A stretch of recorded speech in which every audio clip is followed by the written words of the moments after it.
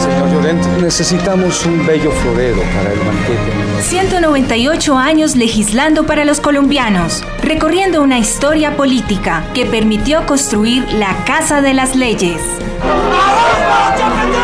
¿Qué le parece, doctor Caldas? Este es el lugar donde se presentan, debaten y aprueban las normas.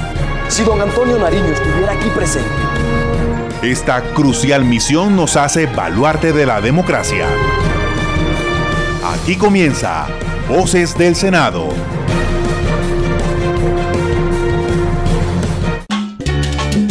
Para ti, Aurora.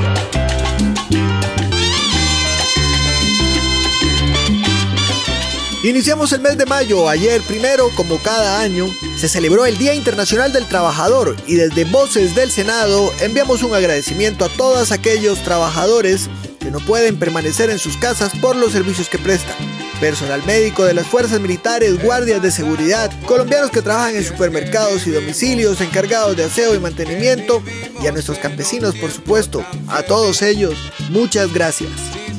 Asimismo, saludamos a quienes están en sintonía en las 53 frecuencias de la Radio Nacional de Colombia y a quienes nos siguen a través de las diferentes plataformas virtuales, en donde nos encuentran como Senado Colombia en Facebook y YouTube y en Twitter somos arroba Senado siempre con el numeral o hashtag Voces del Senado. Amables oyentes, no olvidemos acatar las medidas de las autoridades. Recuerden, el lavado de manos, la desinfección, la permanencia en nuestros hogares y el distanciamiento social. Todos unidos podemos vencer este virus. Además aprovechamos esta cuarentena para compartir momentos en familia, para analizar cada una de nuestras actuaciones y para buscar un mundo mejor para cada uno de nosotros, en armonía con la naturaleza, sin importar las diferencias sociales, políticas y religiosas. Sin más preámbulos les decimos bienvenidos a Voces del Senado nada. Eres como un tronco seco que aunque se riegue no brota. Por eso negra te pido. Voces del Senado, iniciativa de la mesa directiva encabezada por el presidente de la corporación Lidio García Turbay, primer vicepresidente Honorio Enrique Espinedo, segundo vicepresidente Alexander López Maya, el secretario general Gregorio El Hash Pacheco. Y la directora administrativa Astrid Salamanca Rajín.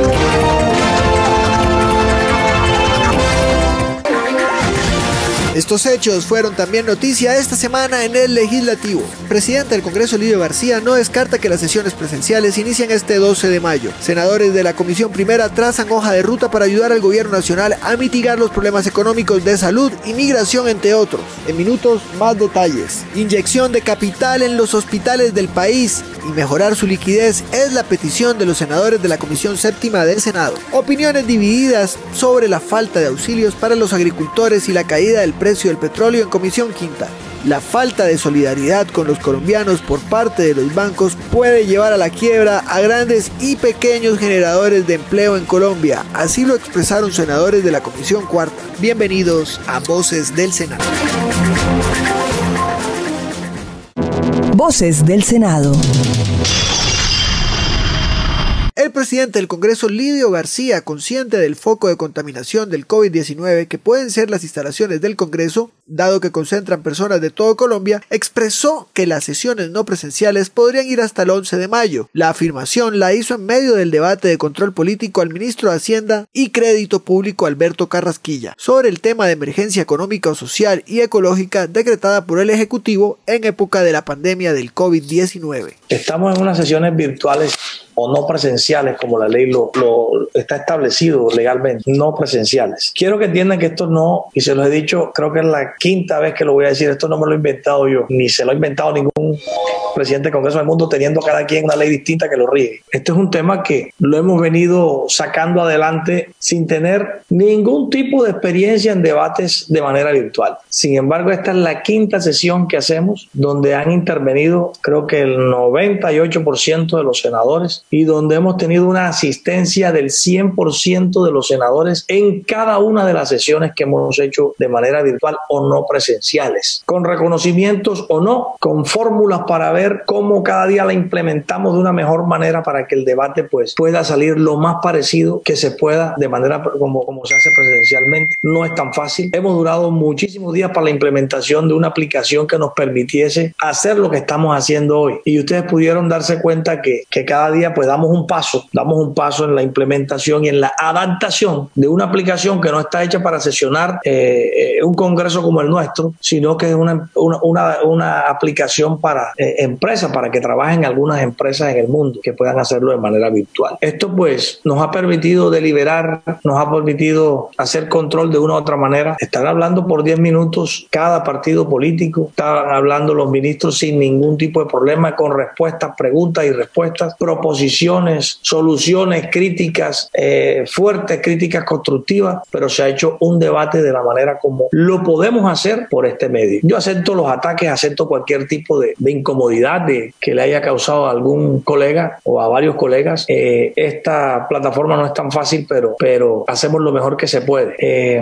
no tengo nada en contra de ninguno. En contra del que no esté de acuerdo, tampoco. Eh, yo siempre he dicho que mis actuaciones han sido actuaciones responsables, actuaciones sensatas, y no he llevado al Congreso de la República a que sesione presencialmente porque tenemos unos decretos de emergencia que no nos los permiten, primero. Segundo, el número que está establecido donde pueden estar el mínimo de personas en un mismo recinto tampoco nos los permite para tener una mayoría para poder debatir. Les dije en la primera reunión que tenemos alrededor de 7, 8 senadores mayores de 70 años o en 70 años y el decreto eh, sugiere que no estén en la calle. Enfermos, personas con tratamiento, pero enfermos con cáncer, mujeres embarazadas, eh, senadores embarazadas, eh, senadores y senadoras con tratamientos médicos de muchos años y algunos recientemente, donde no para ir a un recinto o salir de sus casas en este momento donde nos habían dicho hace un mes que el pico de la pandemia era a mitad de abril y hoy nos están diciendo que es a mitad de mayo. Sin embargo, eh, cualquier decisión que se tome, eh, responsable o no, me toca tomarla a mí y tener la responsabilidad de esa decisión como presidente. Sin ningún tipo de problema, pues ya, he recibido, sin causarle problema a nadie, he recibido denuncias, demandas, denuncias en, la, en, la, en la Corte Suprema de Justicia, pues me han demandado en todas partes porque hicimos y porque no hicimos sesión. Entonces yo quiero que ustedes entiendan que la posición no es fácil. Voces del Senado. Debido a los constantes problemas en materia de insumos y de ayudas económicas y de seguridad para el sector, así como la carencia en suministros para los profesionales de la salud, los integrantes de la Comisión Primera de Senado en sesión no presencial trazaron planes de acción que contemplan desde solicitudes al gobierno nacional hasta debates de control político, con el objetivo de hacer claridad a las medidas que algunas carteras están tomando de cara a la epidemia. Más detalles en el siguiente informe con el periodista César Alexander Ariza. Los senadores de la comisión aprobaron por unanimidad la proposición que eleva al gobierno nacional una petición para destinar recursos a las universidades con el fin de realizar los test de manera urgente. El senador Roy Barreras del partido de la U y uno de los autores de esta propuesta explicó la herramienta más poderosa para cualquier gobierno y para el gobierno colombiano hoy es hacer millones de test. Las universidades públicas y privadas tienen cómo hacerlas. La Universidad de los Andes, a través de su vicerrectora, en un chat que hicimos hace poco, confirmó que pueden hacer 100.000 pruebas. La Universidad de Antioquia, la del Valle, la de la Sabana, la del Rosario, tienen capacidad para hacer entre todas 2, 3 millones de pruebas en dos o tres semanas, pero necesitan recursos. Y allí la proposición diciéndole al gobierno nacional que le inyecte recursos a las universidades públicas y privadas para que priorice la masificación aleatoria de eso. Y no sé si manejo. Ya me termino con dos ejemplos. Si a los operarios de la manufactura o a los obreros de la construcción en pruebas aleatorias o a los ganaderos o a los transportistas se les hacen esas pruebas, entonces vamos a tener claridad sobre qué sectores son más inmunes que otros y cuáles pueden irse incorporando paulatinamente a la actividad económica con más seguridad, lo que resulta inevitable, porque ese es el camino que todas las sociedades del mundo hoy están tomando. Por su parte, los senadores propusieron citar a debate de control político al ministro de Hacienda, Alberto Carrasquilla, para que haga claridad en los recursos que está dando el gobierno. El senador Gustavo Petro de Colombia Humana se refirió al respecto. Y en esa medida me opongo a la idea de que entonces el ministro de Hacienda no sea invitado, es más, no sea citado. Es más, yo creo que dependiendo de sus respuestas y de las conclusiones de la Comisión Primera, eh, si son negativas al interés nacional, el ministro de Hacienda incluso debe pasar a una fórmula de mayor grado y profundidad en el control político, que es la moción de censura. Esperemos sus respuestas de ninguna manera estaría de acuerdo en que la Comisión Primera renuncie a su facultad de control político en el eje central de las políticas al lado de las de salud del gobierno nacional, que son las políticas económicas.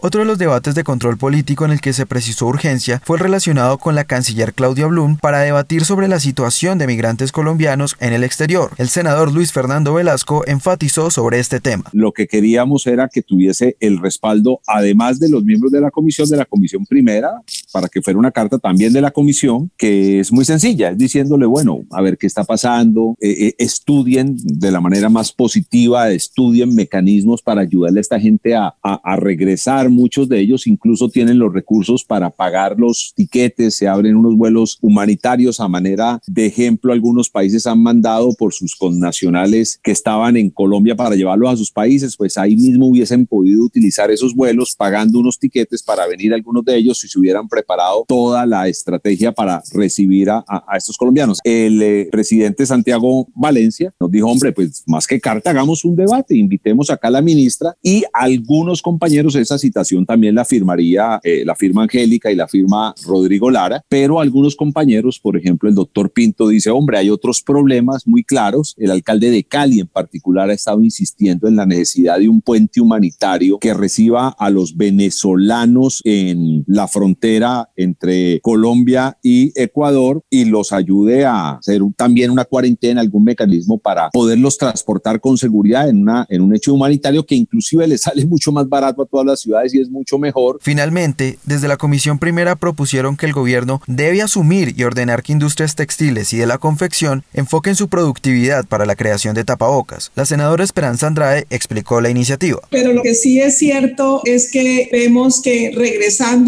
nuevamente en la productividad del país, como se está incorporando nuevamente eh, el tema económico, sí es necesario, sí es necesario tener tapabocas. Sabemos que hay mucha dificultad en conseguir todos los elementos de bioseguridad en otros países, incluyendo los mismos tapabocas. Lo dijo el senador Roy Barreras en los precios. En la proposición también va en el sentido de que se ordene y que se lidere a nivel nacional que este producto lo confeccionen los textileros nacionales. Vemos que ellos son uno de los primeros que se han abierto en el aparato productivo y me parece muy importante generarles empleo, que lo produzcan ellos y además que se pueda repartir masivamente ese tapabocas. Hemos visto los que tenemos que salir a la calle por algunas circunstancias que aún hay personas que no usan tapabocas, así que la sustentación de esta proposición obedece a la necesidad que tenemos de seguir estos protocolos de salud y de cuidarnos.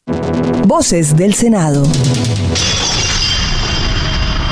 Los congresistas de la Comisión Séptima se reunieron en sesión no presencial con el superintendente de salud Fabio Aristizábal. Con él analizaron los decretos expedidos por el gobierno. Los senadores ratificaron que las ayudas no se están viendo y propusieron que se subsidie a través de las entidades de las SS y IPS los insumos, el pago atrasado a los profesionales de la salud y además dotarlos con implementos de bioseguridad. Más detalles en la voz de Gloria Moncayo. El senador del Centro Democrático, Álvaro Uribe, pidió que el gobierno entregue un informe sobre los insumos entregados a los hospitales. Me parece que un acta de sinceramiento después de unas reuniones para mirar en detalle entre la Asociación Colombiana de Hospitales y de otro lado las EPS con la presencia de la superintendencia, el doctor Fabio, el delegado, nos podría ayudar a clarificar. Hay unas partidas globales que se están anunciando de envíos de elementos de protección personal al talento humano, a los servidores de la salud. Sería muy importante eh, que nos pudieran entregar oportunamente una lista de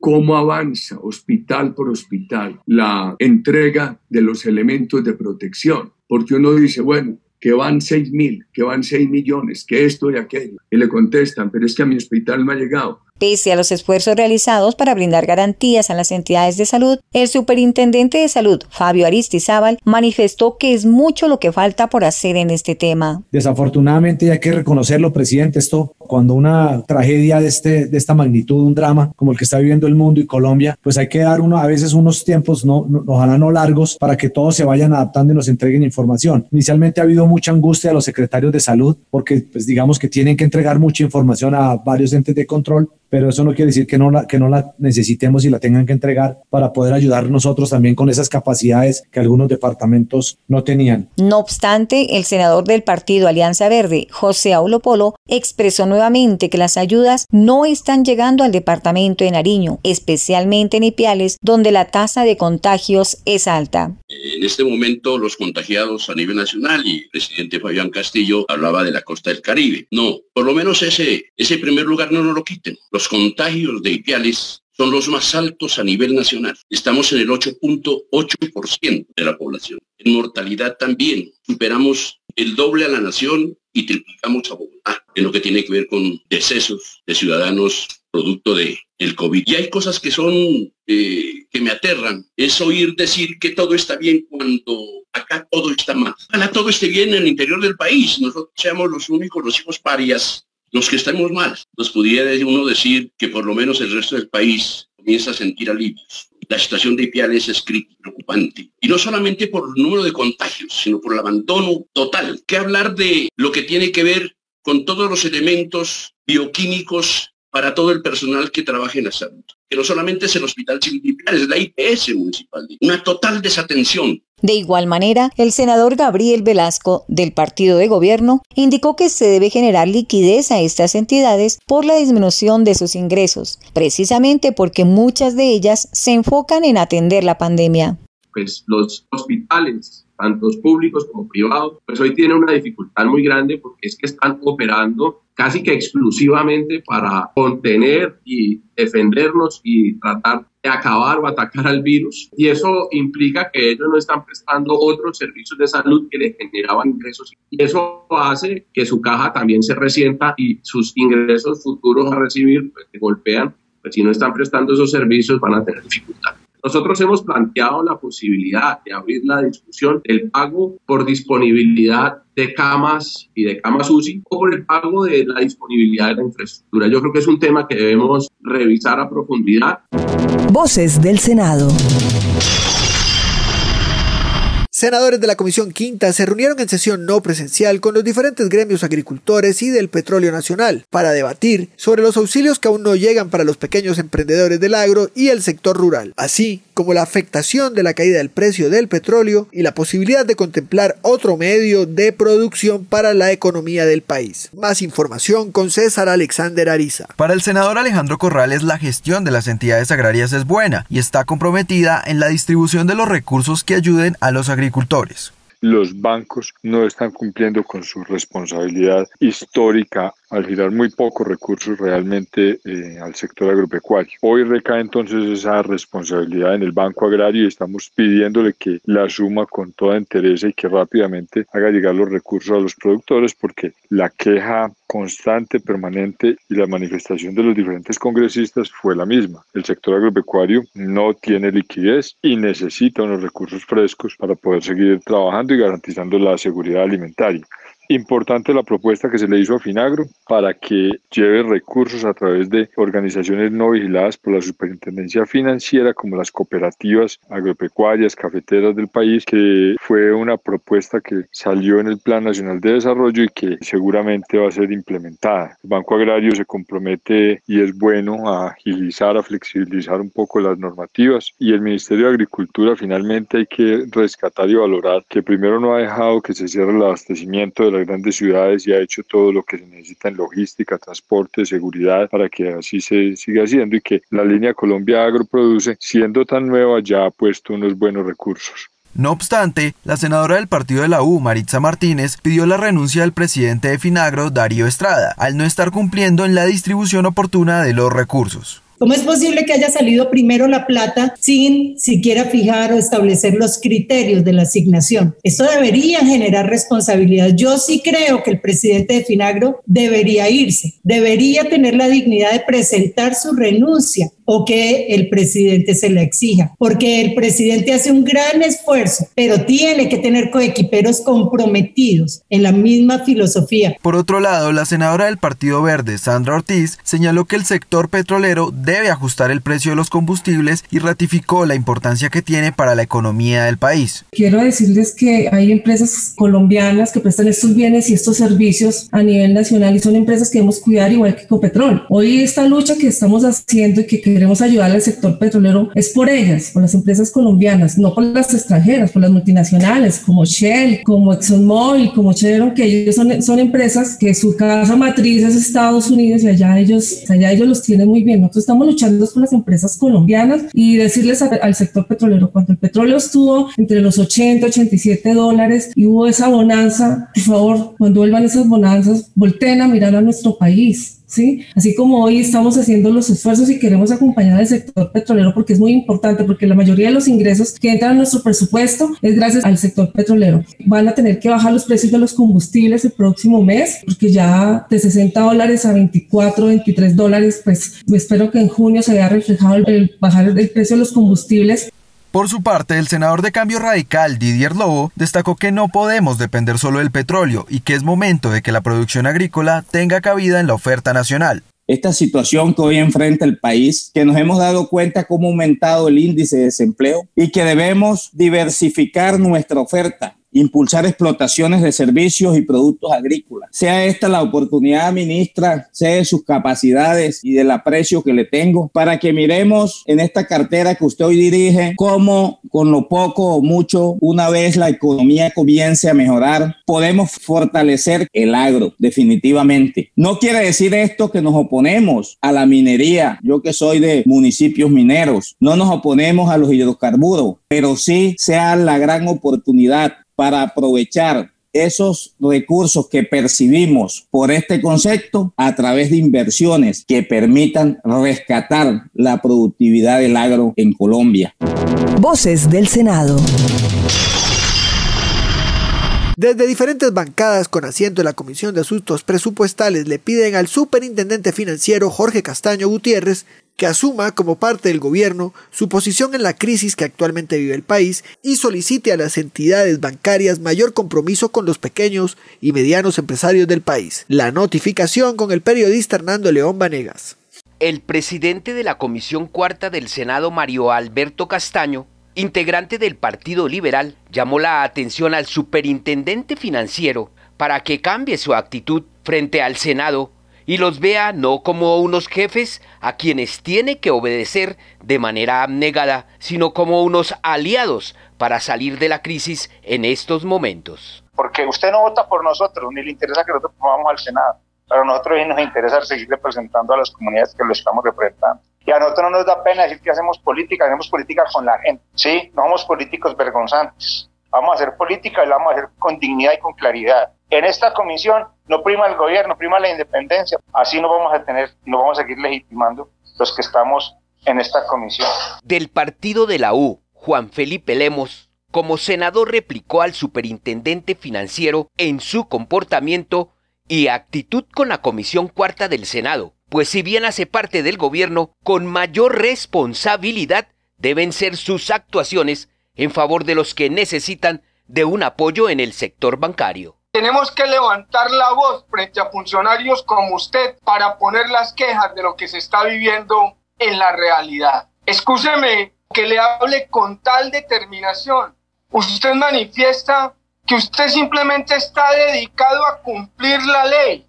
¿Acaso una circunstancia extraordinaria como la que está enfrentando el mundo y el país no necesita entonces medidas extraordinarias para resolver los problemas que se están presentando. Ese será entonces su respuesta cuando se quiebren los pequeños microempresarios del país y las grandes empresas y muchas personas que hoy tienen un empleo no tengan la posibilidad de trabajar. Es que yo con los cálculos económicos me dediqué nomás a cumplir la ley porque no le debo nada a nadie. ¿Será que usted es el único funcionario de este país superdotado con las suficientes condiciones intelectuales por encima de los demás? No, señor.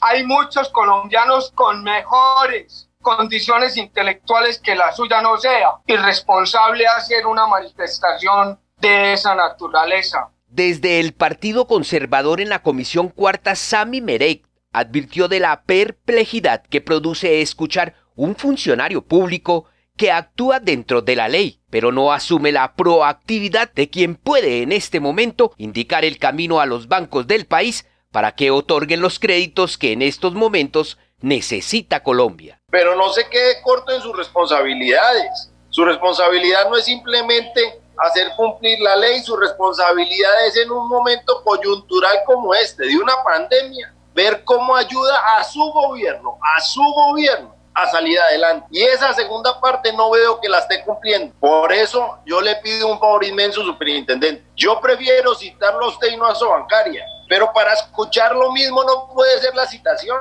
Usted nos tiene que decir y tiene que ayudarnos a definir las líneas con las cuales vamos a lograr impactar en el sector real del país.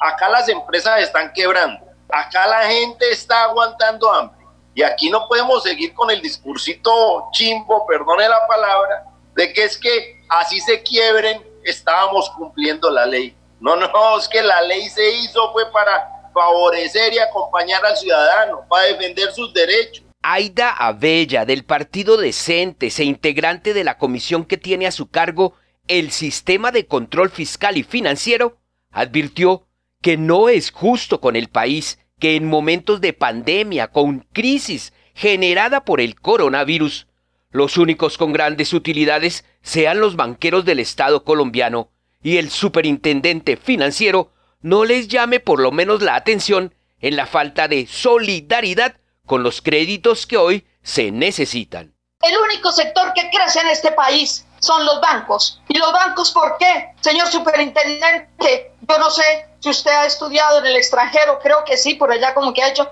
algunos cursos o yo no sé, alguna especialización especial en España. No sé si los bancos españoles le cobraban a usted cada vez que sacaba de su cajero automático. ¿Cómo así, señor presidente? Aquí suceden cosas supremamente graves.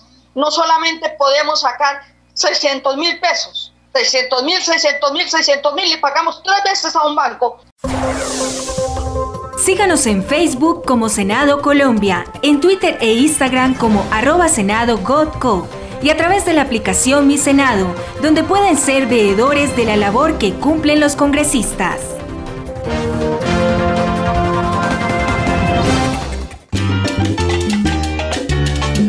Para ti, Aurora. No nos cansaremos de decirlo, amables oyentes, no olvidemos acatar las medidas de las autoridades. Recuerden el lavado de manos y la desinfección. Todos unidos podemos vencer este virus.